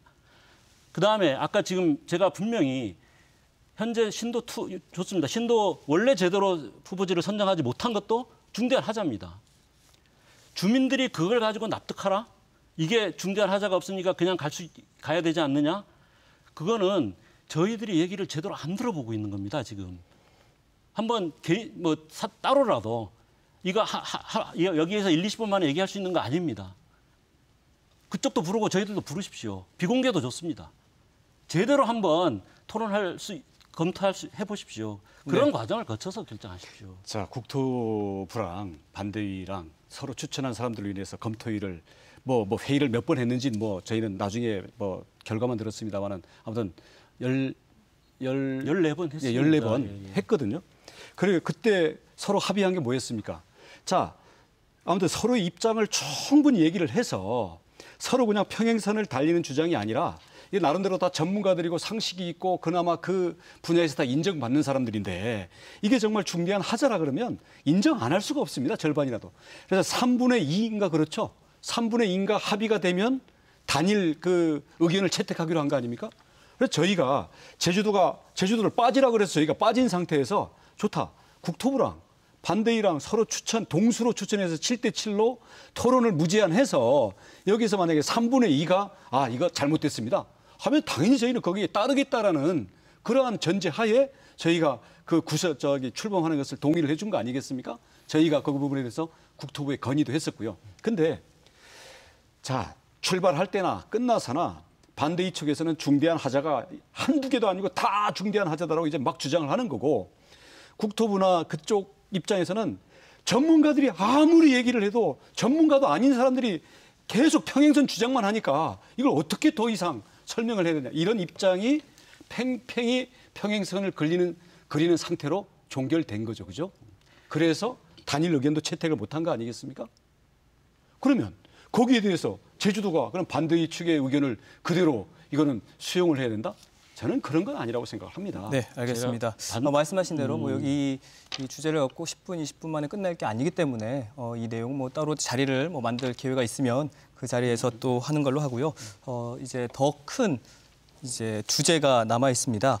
갈등 해법인데요. 앞서 뭐 여러 의혹들에 대해서 토론을 해봤습니다만 현실 인식과 해석에 큰 차이가 있다는 점을 확인하셨을 겁니다. 그럼에도 불구하고 이 문제를 덮고 넘어갈 수는 없겠죠. 제주의 미래가 달려 있는 문제이기에 해법을 찾아야 하는 책임과 권리도 분명 제주 도민에게 있을 겁니다. 대안을 논의하기에 앞서 이 질문부터 좀 드려보겠습니다. 앞서 제기된 의혹들을 풀기 위한 획기적인 방안은 없을까? 제2공항과 관련해서는 타당성 제주사 검토위원회까지 운영했을 정도로 이례적인 절차를 밟기는 했습니다. 그렇지만 여전히 논란은 계속되고 있죠. 이 주제에 대해서 어, 토론해 보겠습니다. 획기적으로 좀 의혹을 풀 방법은 없을까? 누가 먼저 해주시겠습니까? 네. 간단하죠, 뭐 사실은. 그러니까 아, 전에 도지사님께서 도민들이 판단할 영역이 있고 전문가들이 판단할 영역이 있다 이렇게 말씀을 하셨습니다. 맞습니다. 예를 들어 도민들이 현공항 활용으로 가는 게 좋겠다라고 하는데 현공항이 4천만도 안 된다라고 전문가들이 판단을 하면 그건 안 되는 거죠. 근데 문제는 그 판단이 전혀 다르다는 겁니다. 지금 세계적으로 가장 권위 있는 회사가 아까 자꾸 이론적 이론적 얘기 그 그걸로 덮어가려고 하는데 그게 전혀 아닙니다. 가장 현실적이고 실용적인 방안을 제시한다고 했고요. 그러니까 시뮬레이션 같은 것까지 할 필요가 없다고 해서 거기까지 안 한 것뿐입니다. 근데 이분들은요, 전 세계, 지금 아까도 말씀드렸지만, 지난 10년간 500개 공항의 프로젝트를 진행한 사람들입니다. 우리 제주도 사정도 잘 알아요. 근데 이런 세계적인 전문가가 분명히 가능하다고 했는데, 그것에 대해서 예를 들어 다른 전문가들이 검토하는 과정을 거쳐서 이러이러한 근거로 해서 했다라는 거라도 있었으면 모르겠습니다. 전혀 없습니다. 실제로 검토하지 않았다라고 당사자가 얘기를 했습니다. 그런 상태에서 이 문제를 덮고 그냥 갈 수는 없습니다. 그러면 의혹을 해, 해소해야 되는데 우리 도, 도에서 그 검증을 합시다. 물론 저는 이제 도도 계속 그동안 이제 찬성 입장에만 서왔기 때문에 100% 신뢰할 수는 없습니다. 도와 도의회와 시민단체 같이 해서 검증위원회를 만듭시다. 그래서 ADPI도 부르고 국내 전문가들도 부릅시다. 그래서 정말 이게 불가능한 거냐? 현공항을 4천만으로 이상으로 확장하는 것이 정말 불가능한 거냐, 가능한 거냐? 한번 따져보자는 거죠. 네, 여기에 한 답변 한번 들어볼까요? 어떤 의견 주시겠습니까? 국토부랑 그 문제를 가지고 하라고 열, 14번? 14번의 기회와 공개 토론회 세 차례 다 하고, 그다음 그거에 기초해 가지고 민주당과 우리 반대위원회 이렇게 해서 또 국, 저, 저 국토부까지 해가지고 당정 협의회 해가지고 국토부랑 충분히 얘기를 했는데 자 국토부는 빠지고 제주도가 지금 뭐 거기 용역사들 다 불러가지고 지금 다시 검증을 시작하자고요? 저는 그렇게 하려면 사실 처음부터 제주도가 들어갔어야죠. 그래서 저희가 들어가겠다고 했잖아요 처음부터. 근데 그때는 아마 국토부가 아마 민주당이랑 이렇게 해서 좀 제주도 왜냐하면 제주도는 원래 이 국가 예산 따오기 위해서 우리 서명운동도 하고 범도민 추진위원회도 하고 이게 2015년 발표됐을 때 도의회가 만장일치로 환영 결의문까지 냈었던 겁니다. 그런 제주도가 지금 와서는 반대단체가 반대 의견을 제시한다고 그래가지고 어 그래 의심스러워 우리 다시 검, 검증해봐야 되겠어? 이렇게 갈 수는 없는 거라고 생각을 합니다. 그렇기 때문에 만약에 그런 검증을 할 거면 지난번에 민주당하고 당정협의회 반대단체랑 잘 했지 않습니까? 거기서 하세요. 국회에서 하시라고요. 그러면 거기에 저희도 나가서 저희의 의견을 개진을 하겠습니다. 도민들이 여러 가지 의구심을 갖고 있습니다. 아니, 그러니까 제주 도지사가 게 풀어야. 됩니다. 이거는 제주 도지사가 풀어야 됩니다. 아까부터 계속 뭐 회의 횟수를 얘기를 하는데요. 두 시간짜리 두 시간씩 회의한 거거든요. 그리고 일곱 번 정도를 그 용역진 제조사 용역진 불러가지고 보고 내용 듣고 의문 제기하고 그러면 다시 조사해 오고 이런 식으로 진행을 했고 그리고 지금 아까 얘기했던 ADPI 그 용역 보고서나 이런 거는 실제로 그때 그 이전부터도 기존 공항 활용 방안에 대해서 분명히 이렇게 이건 아닐 텐데 하는 의심은 있었습니다. 그런데 계속 감췄습니다. 5월 10일 날에야 발표가 됐습니다. 그 이후에 회의 딱 두 번 했습니다. 그리고 마지막 회의는 겨- 권고안을 채택하기 위한 회의였습니다. 그걸 검토할 시간도 없었어요. 근데 그 문제가 지금 여전히 중요한 의혹으로 남아 있습니다. 제주도지사께서 제주도민들이 이 의혹을 해소해야만 이게 정상적으로 사업이 추진되겠다. 그러니까 국토부가 검증에 협조해라. 국토부가 하, 라고 하시든가요. 아니면 우리가 우리가라도 나서서 이거를 검증하고 넘어갈 테니까 해- 매듭을 짚고 넘어갈 테니까 국토부가 협조해라라고 해서 하면 되는 겁니다. 왜 그거를 국, 국회에 넘깁니까? 우리 제주도민들이 관심을 갖는 문제인데요. 제가 말씀을 드릴게요. 네. 이건 국회에 넘기는 문제가 아니라 자 두 가지를 말씀을 드릴게요. 우선 하나는 뭐 어떤 분들은 여론조사, 공론조사도 얘기하는데요. 그렇게 할 문제가 있고 그때 그런 경우에는 전문가들끼리의 기술적인 문제라든지 어떤 이런 전문 지식을 가지고 결정해야 되는 문제들은 그건 걸러줘야 그 다음 우리 일반인들의 의견을 갈 수가 있는 거예요. 그래서 전문가들끼리도 지금 극과 극을 달리는 문제를 여론조사로 결정하자? 그거는 이 환자가 암 수술을 해야 될지 뭘 해야 될지 수술 방법을 여론조사로 결정하자는 거하고 비슷합니다. 그래서 저희는 도민의 의견은 당연히 찬반, 그다음 찬성은 또 들어가면 거기대로 의견이 있고 반대는 반대대로 이게 입지 때문에 반대하는 건지 아니면 관광객 자체를 받지 말라는 건지 아니면 지금 제2공항을 하지 말고 이제 현공항을 하라는 건지 반대도 이 내용이 다 다르거든요. 그래서 이런 부분들에 대해서는 저희들이 최대한 취합을 해서 현재 어차피 국토부가 10월까지 도의 의견을 제출을 해야 되거든요. 제출을 하겠고요. 지금 말씀하시는 것처럼 국토부랑 반대위원회가 14번 회의를 하면서도 부족했으니 이거에 대해서 전문가들끼리 검증할 수 있는 기회를 더 달라라고 한 부분에 대해서는 저도 국토부랑 의논을 해볼게요. 그리고 제가 지금 국토부 사업입니다. 자꾸 왜 국토부한테 넘기느냐 그러는데 제주도는 여기에 단돈 1원도 예산 들어가는 거 없습니다. 그러면 저희가 이 부분을 가지고 어떤 검증을 한다든지 의사결정을 했을 경우에는 책임을 져야 되지 않습니까? 그러면 우리 제주도가 어떤 거를 진행을 했는데 국토부랑 엇박자가 난다. 그러면 그거 이거야말로 대한민국 자체가 콩가루죠. 그리고 제주의 백년 대계를 가를 그런 사업들을 지금 이 예산을 대고 전문 그동안 용역을 다 해온 국토부나 기재부를 제끼고 한다? 저는 그게 오히려 저는 너무 이론적인 거에 치우친 거라고 생각을 하고요. 그래서 저는 이 전문가들끼리의 이런 견해가 충분히 모아지지 않았다는 점들에서는 저희는 끝까지 최선을 다할 용의가 있습니다. 그래서 국회라는 장, 그리고 국토부 이런 부분하고 더 얘기를 해가지고 지금 뭐 그동안 그 반대위원회에서 의견 제기한 것들이 뭐 저희는 뭐 충분히 그동안 토론을 한 줄 알았는데 그것도 부족하다 그런다면 저희가 국토부에다가 여지가 있는지 저희들이 다시 얘기를 좀 해볼게요. 하지만 그런 반대위원회 주장을 가지고 뭐 일방적으로 공론조사로 결정을 하자라느니 아니면 제주 도정이 뭐 거기에 대해서 무책임하더라. 저희는 의사결정한 거 하나도 없습니다. 저희는 유치를 해왔고 또 제주 공항은 제주의 미래와 제주의 지금까지의 세계 최고의 관광지로서 너무나 중요한 시설이기 때문에 저희들은 이게 잘 되고 또 이왕이면 도민들의 다수의 뜻을 모아서 우리 후손들에게도 든든한 자산으로 물려주기 위해서 최선을 다하는 입장이지 저희를 반대위원회의 그 입장에 왜 편을 안 들으냐 자꾸 이렇게 일방적으로 끌어들이시는 거는 저는 제주도의 종합적인 입장을 또 너무 그건 가볍게 여기는 거라고 생각을 합니다. 네, 그런 부분은 이해를 해 주십시오. 잠시만요. 그 지사님께서 지금 공론조사 얘기를 해주셔가지고요. 다음 주제와 함께 토론을 할수 있을 것 같습니다. 이 공항 반대 측에서는 갈등을 푸는 대안으로 공론조사를 요구하고 있고요. 하지만 지사님께서는 국책 사업의 책임은 국토부에 있다라는 입장이신데 자, 이 밖에 뭐 심층 여론조사나 주민투표 등 여러 가지 대안이 거론되고는 있습니다. 오늘의 핵심 주제라고 할 수 있는 갈등 해법 두 분이 어떤 대안을 내놓을지 한번 기대해 보겠습니다. 자 이번에 시간을 조금 덜 쓰셨는데 어, 뭐, 박한식 실장, 제가 네? 실장님이 덜 쓰셨어요. 예, 그래서 예, 예. 먼저 시작해 주십시오. 예. 그 얘기를 좀 왜곡을 하지 않았으면 좋겠는데요. 저는 아까도 분명히 그 얘기했습니다. 전문가들이 판단해야 될 영역이 있다. 그거는 현재 상태로 놓고 보면 물론 이제 입지 선정 문제도 있습니다. 근데 사실은 입지 선정 문제는요 그렇게 전문적인 게 아니었어요. 제가 들여다 보니까 거의 상식적인 문제입니다. 데이터가 정확하냐 아니냐 이걸 따져보는 거예요. 그리고 그 기준들 평가 항목 이거 하는 거 그렇게 어려운 문제 아닙니다. 공항을 건설하고 운영하는 문제는 그거는 진짜 첨단적인 문제죠. 그 굉장히 과학적으로 어려운 문제, 보통 일반인들이 접근할 수 없는 문제죠. 그러나 입지 선정 문제는 그렇지 않습니다. 근데 어쨌든 그 의혹이 이제 남아 있는데 적어도 기존 공항에서 4천만을 수용할 수 있느냐 없느냐 이 판단은 전문가들이 내려야 되는 게 맞습니다. 그러고 나면 4천만 이상 정도로 수용할 수 있으면 제공항, 아, 기존 공항으로 하는 게 낫다 라고 하는 게 우리 제주도민들의 다수란 말이죠.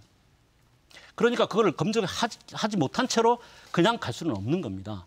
그래서 그 검증이 필요하다. 저는 그 검증은 사실은 국내외 여러 자료들을 보면 이미 끝난 문제입니다.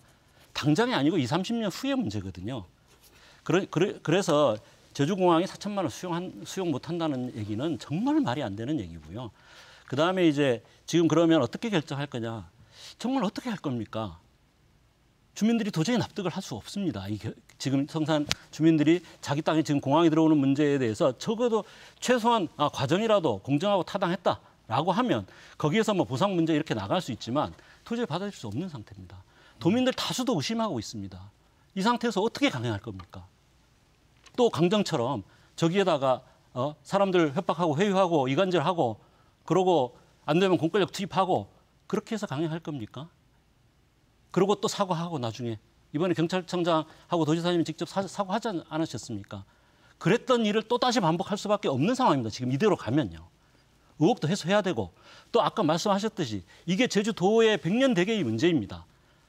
단순히 공항은 하나의 시설이 아닙니다. 100년 가는, 200년 가는 문제고 거기에 따른 연쇄적으로 제주도민들의 삶에 여러 가지 영향을 미치는 문제입니다.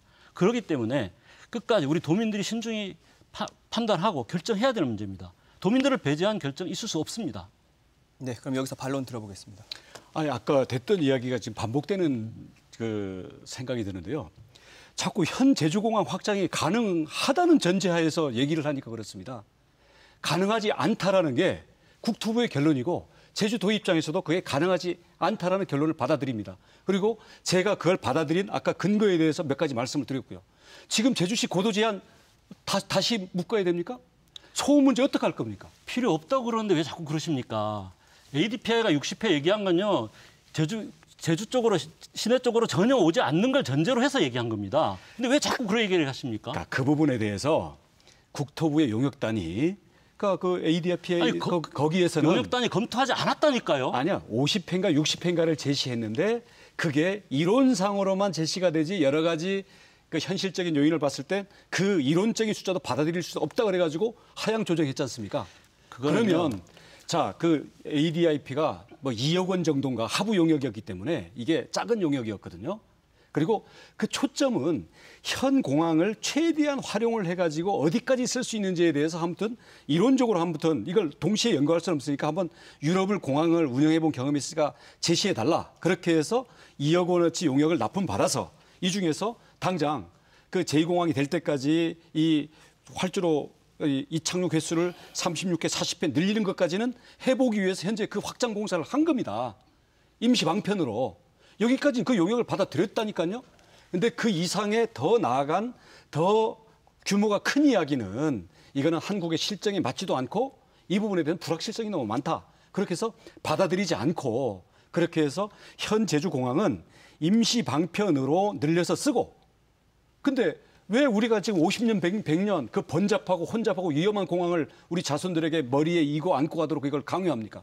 이 부분을 안전하고 쾌적하고 지금 동서활주로가 주가돼 있으니까 성산에 가면 남북활주로로 기상에 따라서 이것을 더 여유 있게 두 가지 공항을 운행할 수 있는 여유 있고 안전한 방안을 제시를 해서 국가에 설득을 해가지고 자 그 정도면 5조 원 투자를 국가에서 하겠다라고 해서 결정을 받은 거거든요.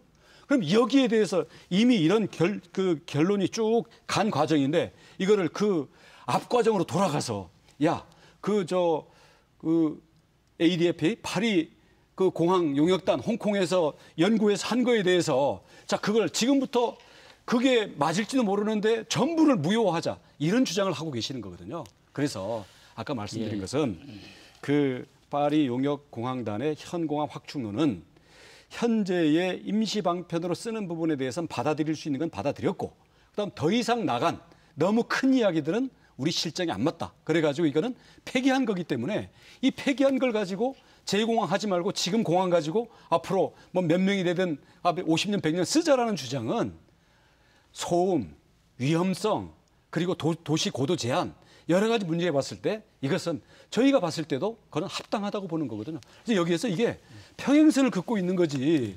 이 부분에 대해서 왜 그걸 또 강요를 하십니까? 그러니까 그러니까 아닌 거를 자꾸 그렇게 얘기를 하시네요. ADPI가 7억 중에서 2억을 썼고요. 그 작은 금액은 아니 물론 요- 용역으로는 큰, 큰- 큰 용역은 아닙니다. 근데 ADPI는 유럽만 보는 게 아니고요. 전 세계를 대상으로 합니다. 아시아, 아프리카, 중국, 인도 다 합니다. 용역을요. 그 나라 실정에 맞지 않는 용역을 하면 그거는 할 수가 없습니다. 그런 거는. 이론적인 게 아니고 실제적인 거였고요. 그래서 이거를 근데 검토 아까부터 검토해서 결론을 냈다. 검토했다는 근거 그 흔적이라도 저한테 제시하십시오. 전혀 검토하지 않았습니다. 검토하기로 해놓고 덮어버렸습니다. 그래서 제가 끝까지 추궁하니까 자료 그 검토했던 거 하- 내놔라 자료 내놔라라고 하니 그 왜냐하면 그 앞까지는 검토한 게 있거든요. ADPI 와서 보고하고 했던 게 있어요. 근데 최종 보고서 나, 나온 다음에 다시 검토하겠다라는 것도 그 앞에 회의 결과에 있습니다. 근데 최종 보고서 나온 이후에는 전혀 검토하지 않았습니다. 그리고 덮어버렸어요. 그래서 제가 끝까지 추궁했습니다. 이거를 어떻게 검토했냐, 누가, 언제, 어떻게, 어떤 자료로. 그래서 그 조금이라도 증거를 내놔봐라. 결국은 그 당시에 용역 책임자가 더 이상 검토하지 않았다라고 실토했습니다. 제가 녹음 다 틀어드릴 수 있습니다. 그거. 근데 아까부터 계속 검토했다고 말, 말씀하시니까 그 말이 안 되는 거고요. 지금 나온 얘기는 ADPI 용역 그 보고서를 그동안 은폐했다가 그게 이제 할 수 없이 어쩌, 어째서 공개되게 되니까 그때 급하게 만들어낸 그냥 의- 의견일 뿐입니다. 네. 전혀 검토 과정을 거치지 않은 겁니다. 지금 전문가들의 검토를 거치지 양쪽에서 않았어요. 전제가 다르기 때문에 지금 대안에 대한 얘기는 지금 아, 나오고 예. 있지 않은데 그렇다면 지금 전제가 다르다면 갈등 해법은 없는 걸까요? 그건 아니지 않습니까? 그러니까요. 해법에 대해서 좀 말씀해 그러니까 예를 들어 두 가지 문제죠. 이게 의혹을 해소해야 되는 문제도 있고 그건 좀 전문가들의 문제입니다. 그런데 어쨌든 이게 어 제주 도민의 미래가 걸린 문제, 제주도의 미래- 미래가 걸린 문제고 지난 2, 30년 동안 정말 제주도가 그 외지 자본 중심으로 대규모 어, 개발 이렇게 달려왔습니다. 그리고 그 후유증을 지금 너무 절박하게 겪고 있습니다. 앞으로도 과연 이 길을 계속 갈 건가? 이 방향으로 계속 질주해 나갈 건가? 그 기로에 사실은 제2공항이 있- 있습니다. 6천만을 수용할 수 있는 이 공항을 만들 필요가 없다라는 거죠. 근데 어쨌든 지금 제주도민들은 그 어쨌든 국토부가 진행하고 있는 제2공항 그대로 가야 된다라는 의견과 이걸 멈추고 다른 대안을 검토해 봐야 된다. 가능한지. 그러니까 거, 거기서 물론 제일 나오는 게 현, 현 공항을 활용할 수 있다라는 거죠. 그럼 그걸 검토해 봐야 될 거 아닙니까? 그래서 그리고 거기에 대해서 우리 도민들이 정말 그렇, 그렇게 의견을 모아준다면 검토를 하, 하면 됩니다. 그래서 저는 이거를 도민들의 어떤 도민들의 의견을 모으는 과정이 없이 진행하면 감당할 수 없는 문제가 생길 거다. 그리고 실제로 아까 저 자꾸 이제 다른 책임을 미루시는데 책임을 미룰 일이 전혀 아닙니다. 공항시설법에 보면요. 국토부 장관은 제주도지사하고 협의하게 돼 있습니다. 그리고 제주도지사는 주민들의 의견, 뜻, 의견을 물어야 된다라고 시행령에 규정돼 있습니다. 그죠? 아시, 아실 거 아닙니까? 아, 그래서 왜 제출할 겁니다. 그러니까 제출하는데 그게 예를 들어 제 성산 제2공항이 그대로 가야 된다는 데 대해서 큰 이견이 없다면 부수적인 여러 가지 거기에서 제주도 이익을 어떻게 극대화할 것인가라든가 이런 거 가지고 하면 되겠죠. 그게 아니라 이게 그대로 가야 되느냐 말아야 되느냐 가지고 큰 이견이 제주도에 있습니다. 갈등이 있고요. 이거 그런 상태에서는 도민의 뜻을 묻는다는 것은 도민이 거기에 대해서 양쪽 얘기를 제대로 듣고 그리고 앞으로 그 거기에 대해서 도민이 판단하고 결정한 그 의견을 표출해서 어떤 하나에 모아서 그렇게 해서 그것, 그것을 가지고 제시해야 되는 겁니다. 그걸 도지사 혼자의 생각만 가지고 해서 되면 안 되는 거거든요. 그리고 이쪽 저쪽 얘기 그냥 이런 의견도 있다 저런 의견도 있다 이렇게 전달하는 게 그게 도민의 뜻을 모으는 것은 아닙니다. 그리고 당정협의에서도 그런 뜻으로 그 당정협의 5항에 분명히 그리고 분명히 국토부 장관은 이미 권, 권한을 줬습니다. 제주도가 합리적 객관적 절차를 거쳐서 도민의 뜻을 모아오면 그걸 존중하겠다. 이미 한 거지 않습니까? 그러면 제주도지사는 법에 의해서 주민의 뜻을 물어서 도지사 그 국토부하고 협의를 해야 될 의무가 있고 그러니까 이거는 선택 사항이 아닙니다. 도지사의 의무 사항입니다. 그리고 국토부는 그것을 존중하겠다라고 이미 얘기를 했습니다. 그러면 당연히 도, 도지사님이 하셔야 될 일이죠. 네, 그럼 여기에 대한 답변 듣겠습니다. 아, 당연하죠. 그러니까 저희는 이 반대하는 도민들의 의견도 있고요. 그러니까 이유는 여러 가지입니다. 아예 지금 지금보다 관광객 더 받으면 안 된다라는 입장에서 좀 더 근본적인 입장에서 반대하는 분도 있고요. 아 그게 왜 성산이냐? 딴 데로 가야 되는데 이래서 반대하는 분도 있고요. 어떤 분은 야 지금 지금 공항으로 어떻게든 쓰면 되지 왜 이 제주도의 이 경제권을 바꾸려고 그러느냐? 반대하는 이유는 여러 가지입니다.